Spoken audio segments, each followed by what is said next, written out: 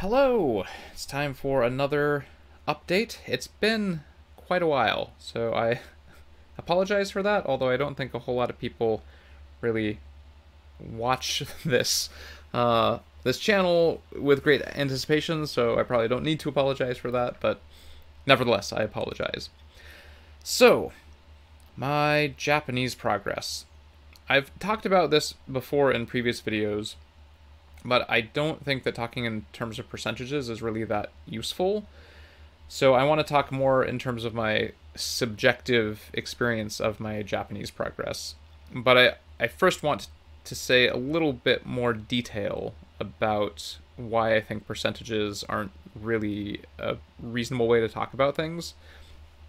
So basically, talking in terms of percentage treats language like this linear path where you like learn it, and, and that that feels kind of like leveling up in an RPG or something, right? Or talking in terms of like N5, N4, N3 JLPT scores or things like that. It treats this language learning as this very linear process, which in my experience so far, it is absolutely not. I think language is much more like a territory, like a map, and you have your insertion points when you first start learning, and you can add more insertion points as you keep going, but you're sort of exploring this territory, right? And from those insertion points, you sort of like start exploring paths around or kind of growing out from them.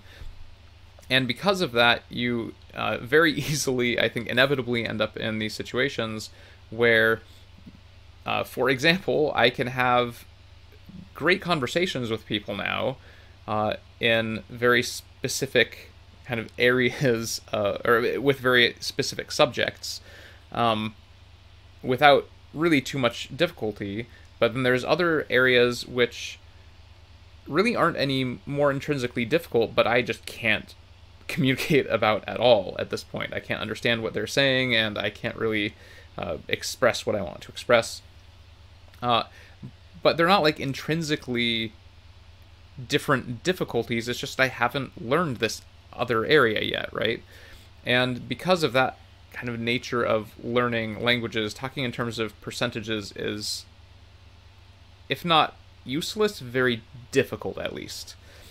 So I'm not gonna I'm not gonna try because I I don't even know how I would come up with a number at this point. Okay, so that out of the way, my subjective experience of my current Japanese level and also my Japanese progress is basically that I suck, right? My subjective experience of my current Japanese ability is that I suck, that I can't understand so much stuff, uh, and also my subjective experience of my progress in Japanese is that I'm not getting better. Uh, it just it feels like I'm not making progress. It feels like I'm stuck in this rut. Uh, and both of those things are really frustrating. But they aren't accurate. Or ra- rather, uh, I mean, I, my Japanese does still suck, but uh, the the feeling that I'm not making prog- progress is very inaccurate, even though it feels like that a lot of the time. And I have uh, one story I want to share, one story about that that I think is illustrative. So, my parents came to visit from America, and I talked to one of the schools that I teach at, and they were very excited to have my parents come and visit and join me in class to have kind of a special class talking about like their impressions of Japan and uh, what life is like for them back in the U.S. and all that kind of stuff. Uh, it was super fun. My students really enjoyed it. My parents really enjoyed it. I really enjoyed it. Uh, everyone seemed to really enjoy it. Everyone had a great time. Uh, but anyway, so my, my parents are at the school with me, and just over and over again, I kept on just assuming that they knew what was going on, right? Like a, a, teacher or staff member would come over and talk to me to explain what was going to be happen- happening next. And I just assumed that my parents knew what was going on, which is super stupid, right? Because of course they don't know any Japanese. Why would they understand what was going on? But I just assumed that they they knew what was going on, and then they would just look at me really blank faced, and I'd be like, "Oh, right, you don't understand. Okay, let me explain." And the reason that this is uh, important, or was kind of a revelation for me, is because it made me realize that I don't notice the Japanese that I do understand. If that makes sense. I mean, I understand it, right? And I utilize that understanding, but I'm it's not like at the forefront of my consciousness of like, "Oh, wow, I'm understanding Japanese." It just feels really mundane. It feels really boring that like, "Oh, yeah, we're I'm just, this person is telling me stuff," and it it doesn't feel special in any way. But the stuff that I do notice is the stuff that I don't understand because that's really frustrating that I can't I mean it's not always like super frustrating but but it's like it's like oh yeah my Japanese sucks. I can't understand that. Um, so there's this weird sort of like schizophrenia, I guess, to to my feelings about my Japanese because most of the time I feel like I suck, like I'm not making progress. But every once in a while, I have these experiences, like when, when my parents came to visit, that make me realize in kind of this this flash, like, oh wait, no, my Japanese actually is getting better. It's way better than when I first came here, when I first arrived in Japan, like about a little less than a year ago. Uh, but my day to day experience, because I'm not really noticing what I am understanding, and I'm mainly noticing what I am not understanding uh, and there's still so much that I don't understand. It just feels like I'm not making progress. It feels like I suck all the time. So that's really that's really interesting. Um, I think like there's a, a big psychological component to learning languages in terms of like staying motivated. Uh, yeah, it's interesting. Okay, so kind of my current status. Uh, I'll I'm going to explain it in terms of two uh, actually no three i'm going to talk about three different uh, shows that i've been watching. Uh, so one of them is uh, doraemon which is a really uh, popular uh, kids animation series in japan also manga but i'm watching the, the anime not reading the manga. Um, and that show i can generally understand most of it. Uh, like watching it doesn't feel difficult to me and I mainly just sit down and enjoy it. There's definitely words that come up that I don't know, right? Or grammar points or whatever uh, structures, whatever you want to call them, that come up that I don't know. But I'm generally able to sit down and understand pretty much everything that goes on, maybe with looking a few things up. There's occasionally episodes that are just way out of my wheelhouse, I guess, uh, and that I'll have to look up a lot more stuff to understand. Um, but I in general, I can sit down and watch an episode without having to look things up and understand uh, certainly the the overall story and usually most of the details of what what go on as well. So another show that I like to watch is uh, Shirokuma Cafe, which is a super fun show. I honestly don't know what age range it's aimed at. Um, it seems very adult in certain ways, um, not in ter- not in terms of like adult content, but just in terms of the style of humor, I guess. Um, but uh, it's a really fun show. I super enjoy it. Uh, and it mostly has pretty simple Japanese in it uh, compared to uh, a lot of other things that I watch. And but it's not as simple as Doraemon. So uh, I with that one, I'd say, I mean, I can definitely sit down and watch an episode and enjoy it and understand at least, I think, half of what is said. Um, but it really depends on the episode. There's some episodes where I struggle to understand most most of what's going on, um, and then other times where I just sit down like, "Wow, I'm really great at Japanese. I understood like almost everything." Um, but uh, but yeah, it really depends. That one definitely, to me, Shirokuma Cafe feels like kind of a step up from Doraemon. Um, but uh, okay, and then the the last show I'm going to talk about is uh, uh, One Piece, which I've started watching relatively recently within the last couple of months, and it's a fun show. It's not my favorite, but uh, the reason that I want to talk about it is because it is also a show that's aimed at kids. Um, but it's a show that I actually have difficulty understanding a lot of what is going on. Uh, like I can infer a lot just from watching the show because you know, visual storytelling and all that, but uh, but in terms of understanding the language and some of the details of what's going on, uh, that one's actually pretty hard for me. Uh, and I think that's interesting, right? So you have like Doraemon, which is which I rarely have difficulty with. Uh, definitely still stuff I don't understand in it, but in terms of just sitting down and enjoying it, and understanding the language, I don't have too much difficulty with it. Uh, and then, but then One Piece, which is also very much aimed at kids, uh, and I have all this, a lot of difficulty uh, with it.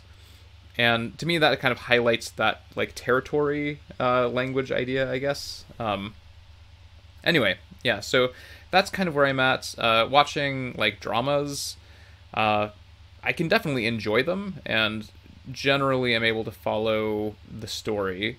Um, yeah, I mean, I, I, guess that's a good, good way to put it. Um, I don't really know where to put kind of my.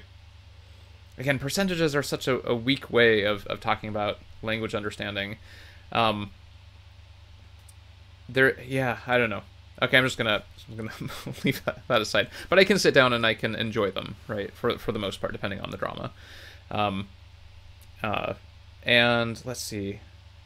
Yeah, I think that's that's a pretty good summary of kind of where my Japanese is at. Um, I guess from a, a speaking standpoint, my Japanese is super broken, but reasonably effective, I guess, at communicating. Like I don't have a lot of difficulties communicating with people. Like if I go to a bar or something and I sit down, uh, I can generally enjoy a conversation with someone, uh, depending on the topic. I mean, some topics I'll have enormous amounts of difficulty with, uh, and you know the nature of the conversations are always relatively simple. But uh, but I can sit down and have have a good time and enjoy myself, uh, and I think that's a really cool place to have gotten to. It's very satisfying to be able to do that. Um, yeah, so I think that's that's a pretty good summary of my Japanese at this point. So the approach that I I'm taking in continuing to learn Japanese has shifted a little bit from what I was doing before. So my approach before was much more Anki heavy, and my approach now is much more Anki weak. Uh, so I'm trying to think of the best way to explain what I actually mean by that. So before I was relying a lot on Anki for learning new language, uh, for learning new words, and I don't really use it that way anymore. Um, so the way that I use Anki now is much more for as like a supplement, I guess, to trying to help things stick a little better. Uh, so and I guess that's kind of like the intent behind the, the MIA approach, right? Like, is you get to a point where you're doing sentence mining, and Anki is just kind of a supplement uh, to your immersion. And so that's that's pretty much where I'm at at this point. I don't really even add that many cards anymore. Um, maybe like a couple a day. Um, yeah, I don't know. It it just Anki seems not that important to me anymore in terms of my my Japanese progress. I still use it and I still think it's useful, but it's very much a secondary thing, um, as opposed to before where it felt much more like uh, maybe not primary, but definitely one of like the the pillars of my learning. And now it feels like I could probably even just drop it entirely, and I I would lose a little something, but I wouldn't be too bothered. Um, so what I do for most of my studying now is uh, just yeah just immersion um, uh, with basically two I guess technically three kind of approaches. So uh, one of them is a video player that I've talked about before called Voracious. Um, at this point, I've heavily modified it. I have my own custom version that I use uh, that has features that the the uh, one you can download doesn't have. For example, you can in my custom version you can uh, color words, uh, which I find really useful to kind of keep track of which words I'm trying to learn right now, uh, which words I you know supposedly already know really well, um, and yeah, so it's like color a word, and every time that word shows up in a subtitle, it'll be that color. I find that really useful and is kind of like a it's like a halfway uh, approach between Anki and just just straight up immersion because there's some amount of tracking words and what you're trying to learn, but it's not like in your face and not like have to review every day. Um, but yeah, so I, I just have a variety of features that I've added uh, to that. So I use that pretty heavily. Uh, that's probably one of my main sources actually for my immersion, for my active immersion. Um, although actually, now that I think about it, like going to bars and things, I mean that's definitely active immersion as well. but in terms of my my non uh, interacting with real human beings immersion, I guess. Um, so uh, the other thing, there's an add-on for Chrome, the Chrome web browser, called uh, Language Learning with Netflix. I think uh, I don't can't believe I don't actually remember the name, but I just use it. I don't. I'm not like looking at the name of the add-on all the time. Um, but yeah, language learning with Netflix. I'm pretty sure that's what it is. Uh, so I use that, and I you know am paying the subscription to get like all the features. That also has like a vocabulary uh, or a word coloring feature, uh, and so I use that as well.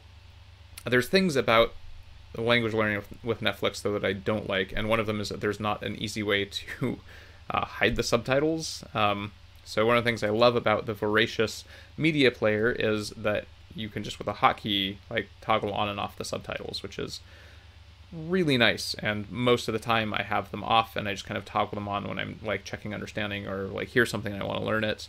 Um, or I mean, I also will watch shows entirely with subtitles uh, for some kind of some amount of kind of I guess reading practice uh, and to acquire some vocabulary. But um, yeah, language learning with Netflix basically doesn't have any convenient way to disable the sub the Japanese subtitles, which is really really frustrating.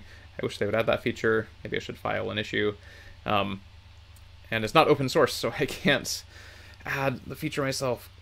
Uh, I really like open source software. Not because it's free. Like I'm happy to pay for things. Just, it's nice to be able to go in and change things because I want to. Um, anyway, so yeah, so those are kind of the two main ways that I'm, I guess, studying. Right, where I'm not just immersing, but also like studying with subtitles. Uh, but then, of course, just for immersion, I will use both Voracious and Netflix to immerse just without any subtitles at all, as well. And so I do that as well. So that's that's kind of my main approach, right? Like uh, with Voracious, I do both subtitle-based studying and just immersion-based listening practice, I guess. Um, and yeah, that's and then with the Netflix add-on, I do some subtitle stuff and yeah, it's I guess like as I'm talking about, it's actually pretty boring, right? Like it's there's not much to it, and I guess that's kind of the thing, right? Like this is not hard to do. It's it's not there's not like some like super systematic way that you need to go about it. It's more like the approach that I'm taking is at this point is basically just to consistently be engaging with the language, right? Just make sure that I am like trying to understand it, trying to engage with it, uh, immersing in it, and I feel like as long as I keep doing that uh, regularly uh, for a good amount of time every day, I mean, progress is inevitable. Like I can't help but get better at Japanese, and I that has very much been my experience. You know, despite my subjective experience of feeling like I'm not pre- making progress, uh, actually looking at where I am compared to like a year ago, I'm way better at Japanese at both understanding and speaking than I was before. So, yeah, so if I'm going to sum it all up, which I am going to right now, uh, I think it's really easy to feel like you're not making progress, especially as you get into kind of uh, upper beginner levels of Japanese. It really starts to feel like you're not making progress anymore. Um, but you are.